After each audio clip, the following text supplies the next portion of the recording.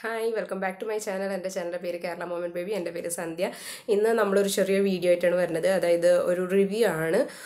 Love ലാപ്പിന്റെ ഒരു zipper കപ്പിന്റെ അതായത് ഇതിന്റെ പേര് love lap hippo sipper cup എന്നാണ്. ഇത് ഞങ്ങൾ വാങ്ങിച്ചിരിക്കുന്നത് ആമസോണിൽ നിന്നാണ് ഇതിന്റെ ഒരു വില എന്ന് പറയുന്നത് ഇരുന്നൂറ്ററുപത് രൂപ മറ്റാണ് പക്ഷേ ഡിസ്കൗണ്ടൊക്കെ കഴിഞ്ഞ് ഒരു വൺ നയന്റി റുപ്പീസിന് അപ്രോക്സിമേറ്റ് ആയിട്ടാണ് ഞങ്ങൾ വാങ്ങിച്ചത്. അപ്പോൾ ഇതിന്റെ ഒരു റിവ്യൂ തരാമെന്ന് വെച്ചിട്ടാണ് ഞാൻ വീഡിയോ ആയിട്ട് വന്നിരിക്കുന്നത്. അപ്പോൾ നിങ്ങൾ ആദ്യമായിട്ടാണ് എന്റെ ചാനൽ കാണുന്നുണ്ടെങ്കിൽ സബ്സ്ക്രൈബ് ചെയ്യാൻ മറക്കരുത്. അതുപോലെ തന്നെ നോട്ടിഫിക്കേഷൻ ബെൽ പ്രസ് ചെയ്യുക. പ്രസ് ചെയ്യുമ്പോൾ ഓൾ എന്ന ഓപ്ഷൻ വെച്ചിട്ട് പ്രസ് ചെയ്യാൻ മറക്കരുത്. പിന്നെ നിങ്ങൾക്ക് വീഡിയോ ഇഷ്ടമായെങ്കിൽ ഉറപ്പായിട്ട് ലൈക്ക് ചെയ്യുക കമന്റ് ചെയ്യുക. പിന്നെ ഇഷ്ടമായില്ലെങ്കിൽ എന്തുകൊണ്ടാണ് ഇഷ്ടമാകാത്തതെന്നും കമന്റ് ചെയ്യുക. ഓക്കെ അപ്പോൾ നമുക്ക് വീഡിയോ കാണാം. അപ്പോൾ നമ്മുടെ പ്രൊഡക്റ്റ് എന്ന് പറയുകയാണെങ്കിൽ ഇതാണ് ഈ ലവ് ലാപ്പിന്റെ കപ്പ് അപ്പോൾ ഹിപ്പോ സിപ്പർ കപ്പ് എന്നുള്ള ഒരു പേര് എനിക്ക് തോന്നുന്നു ഇത് ഇട്ടിരിക്കുന്നത്. ഇതുമേ ഹിപ്പോപ്പൊട്ടാമസിന്റെ ഫോട്ടോ ഉള്ളതുകൊണ്ടാണ് തോന്നുന്നു. പിന്നെ ഇത് എഴുതിയിരിക്കുന്നത് ഓറഞ്ച് കപ്പ് എന്നാണ്. പക്ഷേ ഓറഞ്ച് എന്ന് പറഞ്ഞാൽ ഈ പോർഷൻ മാത്രമാണ് ഓറഞ്ച് ഉള്ളൂ. ബാക്കി ഒരു റെഡ് കളറിലാണ് അവൈലബിൾ ആയിട്ടുള്ളത്. പിന്നെ ഇതിന്റെ വേറെ ഒരു കളറുള്ളത് ഗ്രീൻ കളറാണ് കേട്ടോ ആമസോണിലുള്ളത് ഈ ബോട്ടിൽ ഉപയോഗിക്കേണ്ടത് സിക്സ് മന്ത്സ് പ്ലസ് ഉള്ള കുട്ടികൾക്കാണ്. അതായത് ആറുമാസം കഴിഞ്ഞിട്ടുള്ള കുട്ടികൾക്കാണ് ഉപയോഗിക്കേണ്ടത്. അപ്പോഴേക്കാണല്ലോ വെള്ളം കൊടുത്ത് തുടങ്ങുക ഓക്കെ അപ്പോൾ അതുകൊണ്ടാണ് അവർ പറഞ്ഞിരിക്കുന്നത്. പിന്നെ പറഞ്ഞിട്ട് ഇങ്ങനെ മാംഗോ ഒക്കെ ജ്യൂസ് അടിച്ചിട്ട് അത് ഫിൽട്ടർ ചെയ്തിട്ടിട്ട്. അതായത് അതിന്റെ പഴുപ്പൊന്നും വരാൻ പാടില്ല ശരിക്ക്. നല്ലൊരു ജ്യൂസ് അതായത് വെള്ളം പോലെയുള്ള ജ്യൂസില്ലേ അതൊക്കെ ഇതിൽ കൊടുക്കാമെന്ന് പറഞ്ഞിട്ടുണ്ട്.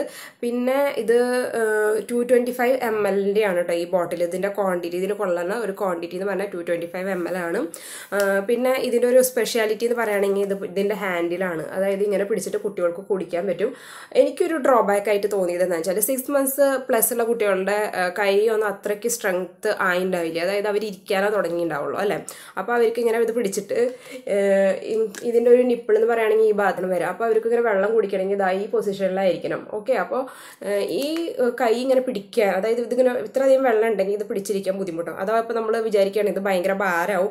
അപ്പോൾ നമ്മൾ ഇത്ര വെള്ളം നിറയ്ക്കണുള്ളൂ എന്നൊക്കെ. അപ്പോൾ ഇങ്ങനെ കുടിക്കാനാണെങ്കിൽ അവർക്ക് തല മൊത്തം ഇങ്ങനെ ടിൽറ്റ് ചെയ്യേണ്ടി വരും കുടിക്കാൻ വേണ്ടിയിട്ട്. സ്വയം കുടിക്കണമെങ്കിലത്തെ കാര്യമാണ് പറയുന്നത്. അപ്പോൾ അവർക്ക് സ്വയം കുടിക്കാൻ ഒരു പാകമാണെങ്കിൽ ഒരു പത്ത് മാസം അതുവരെ നമുക്ക് ആറ് മാസം കഴിഞ്ഞ കുട്ടികൾക്കാണെങ്കിൽ നമ്മൾ പിടിച്ചു കൊടുത്തിട്ടുണ്ടെങ്കിൽ അവർ അത് സക്ക് ചെയ്യുമ്പോൾ അത് കുടിക്കാൻ പറ്റും. അപ്പോൾ ആറ് മാസം കഴിഞ്ഞുള്ള കുട്ടികൾക്കാണ് ഇത് വെള്ളം കുടിക്കാൻ ഉപയോഗിക്കേണ്ടതെന്ന് പറയുകയാണെങ്കിലും അവർ സ്വയം കുടിക്കേണ്ടത് ഒരു പത്ത് മാസം കഴിഞ്ഞിട്ടായിരിക്കും കേട്ടോ.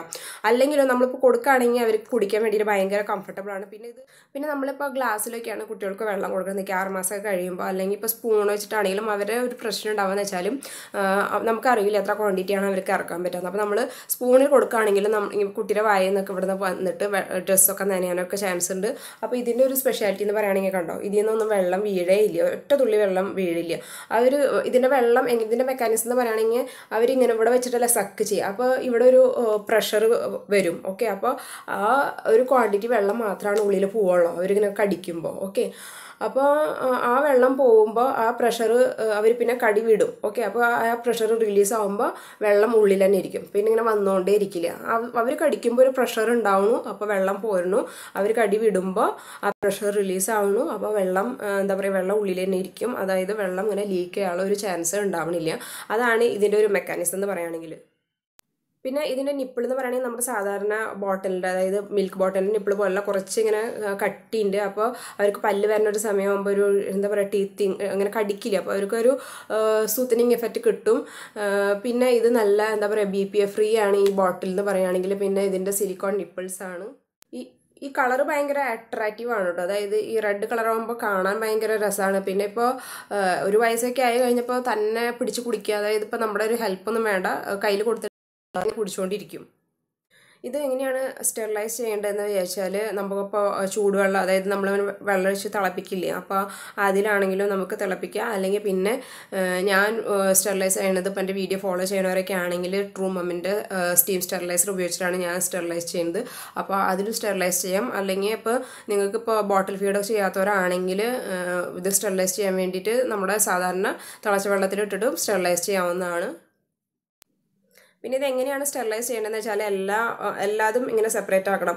അപ്പോൾ ഇത് ഇതിൽ വെള്ളം ഉണ്ട് കേട്ടോ അപ്പോൾ ഇതിന് സൈഡിൽ വെക്കുകയാണ് അത് കഴിഞ്ഞിട്ട് ഇതേ ഈ ഭാഗം ഉണ്ടല്ലോ ഇതെന്ന് പറയുന്നത് അടപ്പാണ് കണ്ടല്ലോ?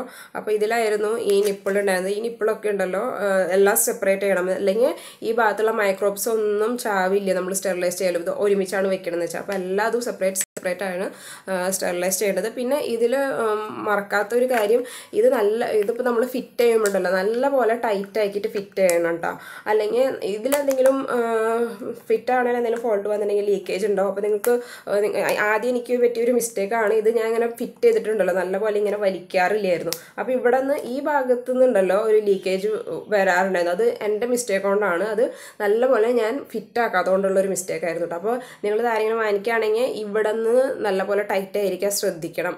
ഓക്കെ ഇപ്പോൾ നിങ്ങൾ ഈ പാൽ കൊടുക്കുമ്പോഴായാലും ശരി അതുപോലെ വെള്ളം കൊടുക്കുമ്പോഴായാലും ശരി ഇത് പ്ലാസ്റ്റിക് ബോട്ടിലൊക്കെ വാങ്ങിക്കുമ്പോൾ ഇപ്പോൾ നിങ്ങൾക്ക് എല്ലാവർക്കും അറിയാം പ്ലാസ്റ്റിക് എന്ന് പറയുന്നത് ഇപ്പോൾ ഗവൺമെന്റ് തന്നെ ഉപയോഗങ്ങളൊക്കെ കുറേ കുറച്ചിരിക്കുകയാണ് ഇപ്പോൾ ഞങ്ങൾ താമസിക്കുന്ന ബറോഡയിലാണ് ഇപ്പോൾ ഇവിടെ പ്ലാസ്റ്റിക്കൊക്കെ നിരോധിച്ചിരിക്കുകയാണ് അപ്പോൾ പ്ലാസ്റ്റിക് എന്ന് പറയുന്ന പറഞ്ഞാൽ കുറേ ടോക്സിക് ആണ്. ഇപ്പോൾ ശരിക്കും ഉപയോഗി ഉപയോഗിക്കുന്നത് നല്ലതല്ല. അപ്പോൾ വാങ്ങിക്കുന്നുണ്ടെങ്കിൽ തന്നെ നല്ല ക്വാളിറ്റി പ്ലാസ്റ്റിക് വാങ്ങിക്കാൻ ശ്രദ്ധിക്കണം. അപ്പോൾ ഞാൻ സജസ്റ്റ് ചെയ്യുന്ന ബ്രാൻഡ്സ് എന്ന് പറയുകയാണെങ്കിൽ ഫിലിപ്പ് സെവന്റും അതുപോലെ തന്നെ ലവ് ലാപ്പാണ് അപ്പോൾ ഞാൻ ഇത് കാണിച്ചിരിക്കുന്നത് ലവ് ലാപ്പിന്റെ പ്രൊഡക്റ്റാണ് അപ്പോൾ നിങ്ങൾ എന്ത് എന്ത് എന്തുകൊണ്ടും ഈ ഈ പ്ലാസ്റ്റിക്കിന്റെ ബോട്ടിലൊക്കെ വാങ്ങിക്കുമ്പോൾ കുട്ടികളുടെ കാര്യത്തിൽ ഒരു കോംപ്രമൈസും ചെയ്യരുത്. ഇപ്പോൾ ഭയങ്കര വില എന്നൊന്നും പറയാനില്ല. ഇതിപ്പോൾ ഞാൻ പറഞ്ഞല്ലോ വൺ നയന്റി റുപ്പീസാണ് അതുപോലെ തന്നെ ഫിലിപ്പ് സെവനിന്റെ ഫീഡിംഗ് ബോട്ടിൽ ഞാൻ മുന്നേ അത് റിവ്യൂ ചെയ്തിട്ടുണ്ടായിരുന്നു. കാണാത്തവർ ഐ ബട്ടണിൽ ലിങ്ക് ഉണ്ട്. അത് പോയി കാണാം. അതും ആയാലും അത് ഭയങ്കര നല്ല ക്വാളിറ്റി പ്രൊഡക്ട്സ് ആണ്. അപ്പോൾ ഇതൊക്കെ വാങ്ങിക്കുമ്പോൾ കുറച്ച് എന്താ പറയുക ക്യാഷ് ക്യാഷിന്റെ കാര്യം ആലോചിക്കാതെ കുറച്ച് ബ്രാൻഡഡ് വാങ്ങിക്കാൻ ശ്രദ്ധിക്കണം.